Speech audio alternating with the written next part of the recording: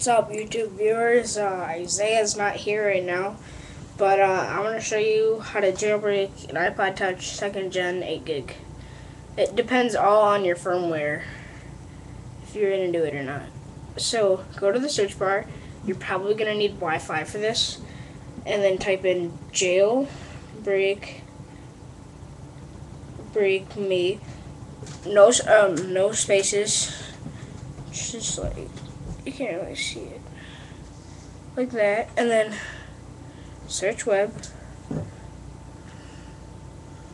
And then it says 5.01 don't click that. Go down to 2.0 and click it. It'll load it takes a while and then I've already done it, so it won't let me do it again, but then you just slide a jailbreak depending on your firmware. You need a 2.0, and if you don't, or a 3.0, and if you don't, you need to jump, you would need to downgrade it. Otherwise, that, have fun, I guess. Subscribe.